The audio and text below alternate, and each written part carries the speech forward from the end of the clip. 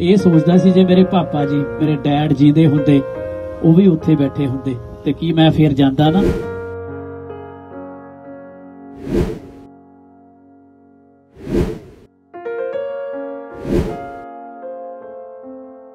ਕਿ ਚੱਲ ਆਪਣਾ ਕੀ ਆ? ਆਪਾਂ ਤਾਂ ਇੱਥੇ ਹੀ ਆ।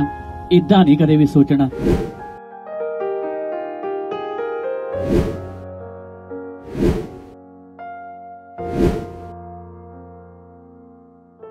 ਹਮੇਸ਼ਾ ਇਦਾਂ ਹੀ ਸੋਚਣਾ ਵੀ ਉਹ ਜਿਹੜੇ ਬੈਠੇ ਨੇ ਉਹ ਸਾਡੇ ਬਜ਼ੁਰਗ ਨੇ।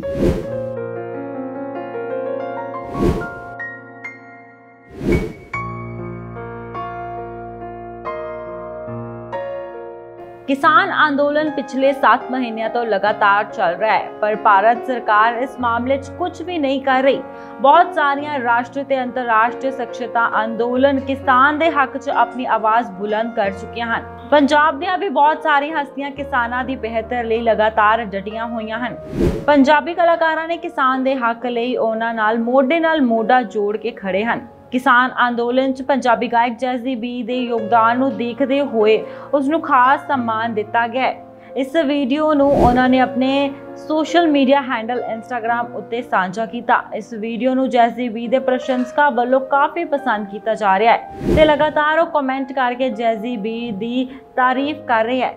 ਇਸ ਵੀਡੀਓ 'ਚ ਜੈਜ਼ੀ ਬੀ ਨੇ ਪੰਜਾਬ ਦੇ ਨੌਜਵਾਨਾਂ ਨੂੰ ਖਾਸ ਸੁਨੇਹਾ ਦਿੱਤਾ। ਉਹਨਾਂ ਨੇ ਕਿਹਾ ਕਿ ਸਾਡੇ ਸਾਰਿਆਂ ਦਾ ਫਰਜ਼ ਹੈ ਕਿ ਇਸ ਅੰਦੋਲਨ 'ਚ ਆਪਣੇ ਤੇ ਆਪਣੇ ਬਜ਼ੁਰਗਾਂ ਦਾ ਸਾਥ ਦੇਈਏ, ਭਾਵੇਂ ਇਸ ਕਿਸਾਨੀ ਅੰਦੋਲਨ 'ਚ ਸਾਡੇ ਪਰਿਵਾਰ ਦਾ ਕੋਈ ਮੈਂਬਰ ਸ਼ਾਮਿਲ ਨਹੀਂ ਹੋਇਆ, ਪਰ ਜਿਹੜੇ ਬਜ਼ੁਰਗ ਕਿਸਾਨੀ ਕੋਲ 'ਚ ਪਿਛਲੇ ਕਈ ਮਹੀਨਿਆਂ ਤੇ ਬੈਠੇ ਹਨ ਉਹ ਸਾਡੇ ਆਪਣੇ ਹੀ ਹੈ।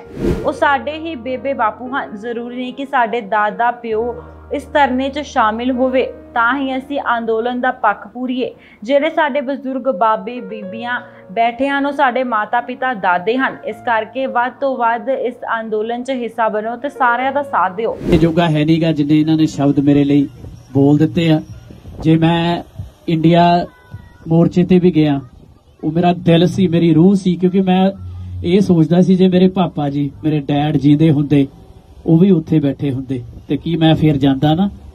ਮੈਂ, ਸਾਨੂੰ ਇਹ ਸੋਚਣ ਦੀ ਲੋੜ ਹੁੰਦੀ ਆਪਾਂ ਕਈ ਵਾਰ ਇਦਾਂ ਸੋਚ ਲੈਂਦੇ ਆ ਕਿ ਚੱਲ ਆਪਣਾ ਕੀ ਆ, ਆਪਾਂ ਤਾਂ ਇੱਥੇ ਆ। ਇਦਾਂ ਨਹੀਂ ਕਦੇ ਵੀ ਸੋਚਣਾ। ਹਮੇਸ਼ਾ ਇਦਾਂ ਹੀ ਸੋਚਣਾ ਵੀ ਉਹ ਜਿਹੜੇ ਬੈਠੇ ਨੇ ਉਹ ਸਾਡੇ ਬਜ਼ੁਰਗ ਨੇ। ਜੈਜ਼ੀਬੀ ਦੀ ਇਸ ਵੀਡੀਓ ਨੂੰ ਸਾਰਿਆਂ ਨੇ ਬਹੁਤ ਸਾਰਾ ਪਿਆਰ ਵੀ ਦਿੱਤਾ। ਇਸ ਵੀਡੀਓ ਨੂੰ ਸਾਂਝਾ ਕਰਦੇ ਹੋਏ ਜੈਜ਼ੀਬੀ ਨੇ ਲਿਖਿਆ ਐਪਸਪੋਰਟ ਤੋਂ ਆਏ ਸਾਰੇ ਗੁਰਦੁਆਰੇ ਸਭਾ ਮੈਂਬਰਾਂ ਦਾ ਧੰਨਵਾਦ। ਮੈਨੂੰ 골ਡ ਮੈਡਲ ਨਾਲ ਸਨਮਾਨਿਤ ਕੀਤਾ। ਅਵਾਰਡ ਬਹੁਤ ਮਿਲਿਆ ਬਟ ਇਹ ਅਵਾਰਡ ਮੇਰੀ ਲਾਈਫ ਦਾ ਸਭ ਤੋਂ ਅਨਮੋਲ ਸਨਮਾਨ ਹੈ। #No farmer no food #farmer protest bureau report ਜ਼ਿੰਦਾਬਾਦ।